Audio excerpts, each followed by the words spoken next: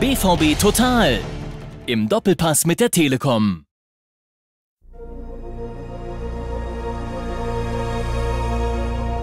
Der Signal Iduna Park.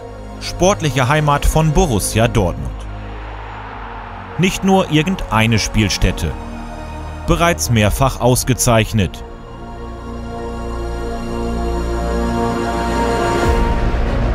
Bestes Stadion, beste Tribüne, beste Stimmung, beste Fans. Und jetzt auch bester Rasen. Kommende Woche wird dem BVB der Pitch of the Year Award 2016-17 verliehen. Das macht einem sehr stolz. Das ist aber ein erster Verdienst, ist das von den Mitarbeitern. Äh, ich begleite das Ganze äh, hier natürlich. Ich bin im Brakel, ich bin im Stadion dafür zuständig. Aber was hier entstanden ist, dieses Team, äh, was ich hier auch zusammengestellt habe, alt und jung, das ist in erster Linie diesem Team hier zu verdanken, dass wir hier von Borussia Dortmund den ersten Platz gemacht haben. Was aber macht dieses Geläuf zum Nonplusultra der Bundesliga? Wir wollen es wissen und haben das BVB Rasenteam vor dem Heimauftakt gegen Hertha BSC begleitet. Willi Droste, Platzwart bei Borussia Dortmund. Im Januar feierte er sein 20-jähriges Dienstjubiläum. Er weiß, worauf es ankommt. Pflege und Wartung der Grashalme sind aber schon längst keine One-Man-Show mehr ein 18-köpfiges Team kümmert sich mittlerweile um die Spielfelder der Borussia. Ja, einen guten Rasen, der muss eben sein, der Ball muss laufen, äh, der Rasen sollte möglichst schnell sein. Das ist ja in der heutigen Zeit, äh, der Spieler fordern die das, es wird gewässert wir haben uns daran gewöhnt, wir haben uns darauf eingestellt, den Wünschen der Spieler entsprechen wir und wässern dann dementsprechend den Platz, damit er einfach schnell bespielbar ist. Und wir haben eine spielstarke Mannschaft hier bei uns in Dortmund und dann ist das natürlich klar, dass wir alles Mögliche auch versuchen, aus dem Rasen rauszuholen für die Mannschaft. 105 Meter lang, 65 Meter breit, Grashalmlänge exakt 2,7 Zentimeter einfache Zahlenspielerei und doch viel komplizierter. Denn Rasen ist nicht gleich Rasen. In Dortmund entschied man sich vor einem Jahr für eine gravierende Neuerung.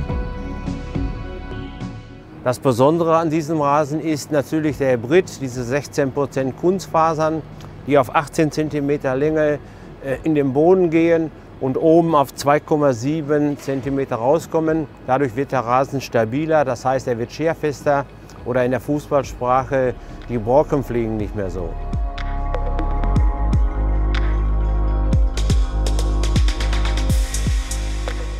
Jederzeit im Blick, möglichst täglich schneiden, regelmäßig düngen.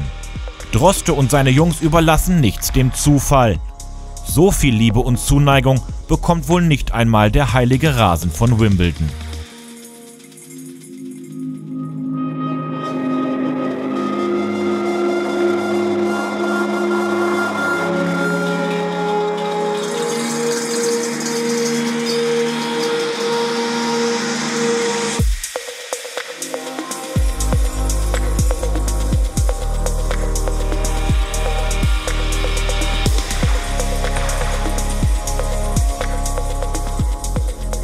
Doch mit Rasenmähen allein ist es heutzutage längst nicht mehr getan.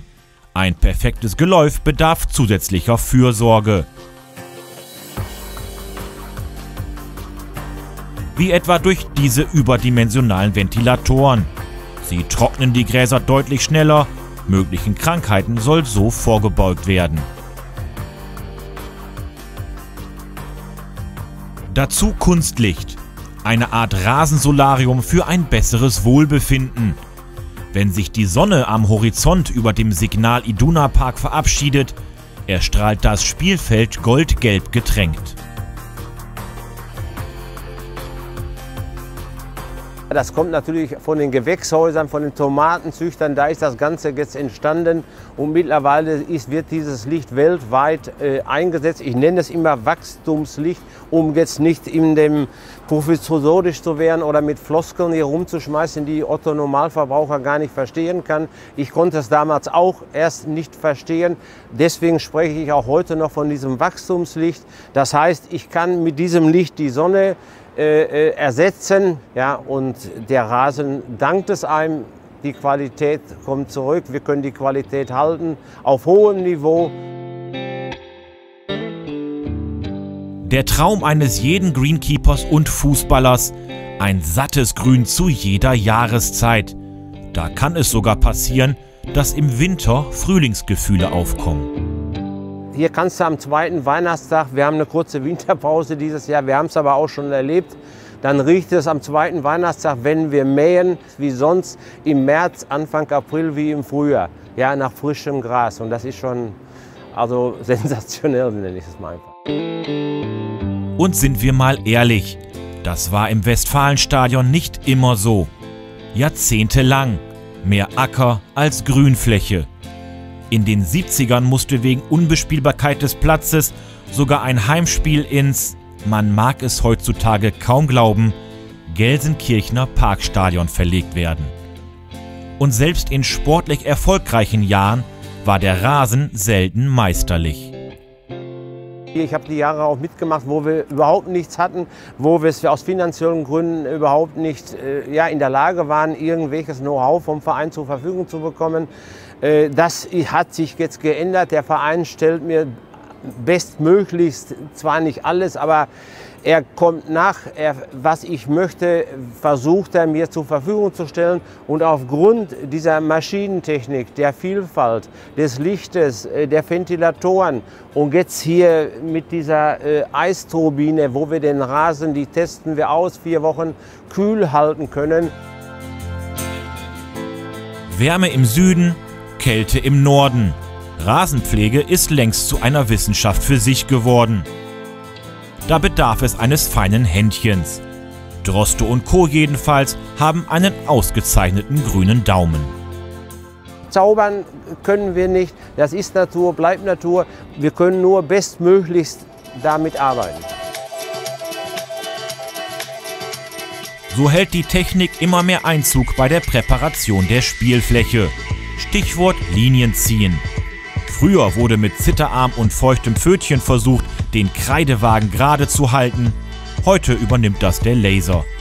Millimetergenau wird die Maschine geführt und weiße Farbe gesprüht. Das Linienziehen war ja früher quasi noch mit dem Nagel, der, manchmal auch dann an die Knochen oder den Kopf, wenn der Pech hast, ist geflogen. Die Schnur wurde gespannt, ja, und dann musstest du versuchen, so einigermaßen gerade, äh, ich sag mal, diese Linie zu ziehen. Ich weiß noch heute, wo ich das erste Mal vor 20 Jahren äh, hier eine Linie ziehen musste und auf einmal mir ein Ordner zurief, beeil dich, die Südtribüne wird schon geöffnet wo ich dann merkte erstmal, äh, was das für eine Verantwortung für Bewusstsein war, weil da Tausende zugucken oder Hunderttausende zugucken im Fernsehen, 80.000 im Stadion. Ja, und zwar im Dorf bei mir, wo nur die meisten wissen, er ist der Platzwart da, aber wenn du dann Schlenkerei machst, dann heißt das, naja, wie lange war er gestern Abend unterwegs? Schneiden, Linierung, Tore und Fahnen aufstellen. In knapp fünf Stunden liefert das BVB Rasenteam am Spieltag die perfekten Bedingungen. Unter Fußballfans heißt es immer, du musst einmal den Signal Iduna Park erleben, die Südtribüne, die Fans, die Stimmung. Und unter den Aktiven scheint man jetzt zu sagen, du musst einmal auf dem Rasen in Dortmund spielen. Das größte Lob in, in, der letzten Saison waren die Gastmannschaften. Man kennt sich ja jetzt auch mittlerweile, die dann kommen, einen Daumen hoch. Oder der Doc äh, von Augsburg sagt, oder Stefan Reuter, Willi, was habt ihr da für einen Rasen liegen? Ja, das ist natürlich für uns hier, für das Team, ein Kompliment. Ein größeres gibt es ja gar nicht. Den lobenden Worten folgten Taten. Unser Rasen, er darf sich fortan preisgekrönt nennen. Bei der vierten Auflage sicherte sich der BVB erstmals den Award Pitch of the Year. Der verdiente Lohn für die Mühe wie liebevolle Arbeit der Männer bei Schwarz-Gelb. Doch wie bei Fußballern gilt auch bei Greenkeepern, nach der Saison ist vor der Saison. Und Chefcoach Droste nimmt seine Schützlinge in die Pflicht. Ich habe den Jungs gesagt, passt mal auf, einmal kann jeder. Ja, das habe ich natürlich irgendwo gehört, die dann Champions League-Sieger geworden sind. Ja, und habe das jetzt auf meine Jungs umgesetzt. Ich habe gesagt, ich erwarte natürlich jetzt im nächsten Jahr, dass wir wieder den ersten Platz, ja, dann sind wir da, dann spricht jeder von uns. Heute sprechen schon viele von uns. Wir haben viele Anfragen, die auch mal hier hin möchten, die mal mit uns sprechen wollen. Aber Voraussetzung ist und Zielsetzung ist für nächstes Jahr natürlich Platz 1. Also doch, Borussia Dortmund will die Meisterschaft. Und der beste Rasen der Bundesliga bekommt seinen angemessenen Heimauftakt. Der BVB empfängt die Hertha aus Berlin als Tabellenführer. Doch egal ob Meisterschale oder Pitch of the Year Award, in Dortmund weiß man, entscheidend ist auf dem Platz.